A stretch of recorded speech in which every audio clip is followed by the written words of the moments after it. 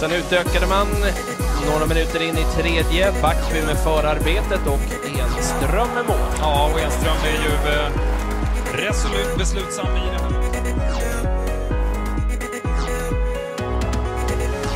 Johansson in och spelar, glädjande för eh, Faluns del. Här är Enström. Med skottet i mål, Bortenborg tar ledningen i matchen efter fyra.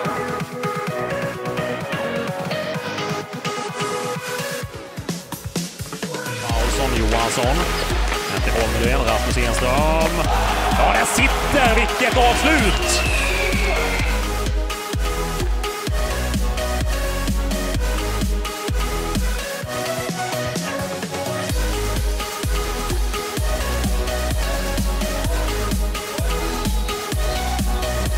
Går på skott och hittar en lucka minsann.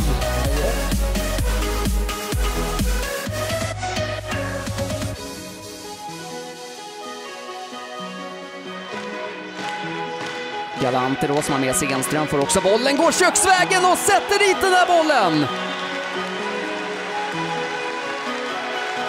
Ja, det är så fräckt!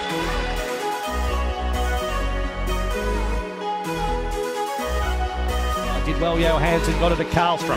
Karlstrom, quick break. Enstrom, Enstrom, Enstrom! Yeah, the Silu.